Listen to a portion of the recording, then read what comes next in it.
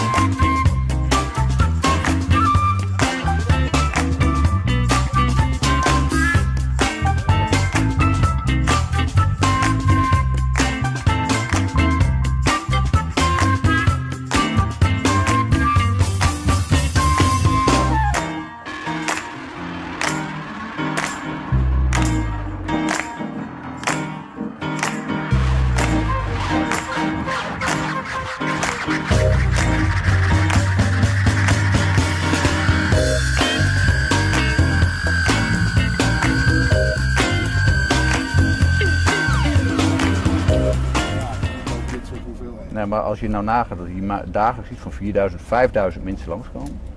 Zoveel stukken zwerfvuil ligt er niet eens. Dus als je zou zeggen, iedereen die langskomt moet één stukje, dan gaat, gaat men op het laatst vechten wie het laatste stukje mag pakken. Is dat uw... Eh, dat zou een aardige mentaliteitsverandering in Nederland zijn. Ja. Ik, ik help het hopen dat dat gaat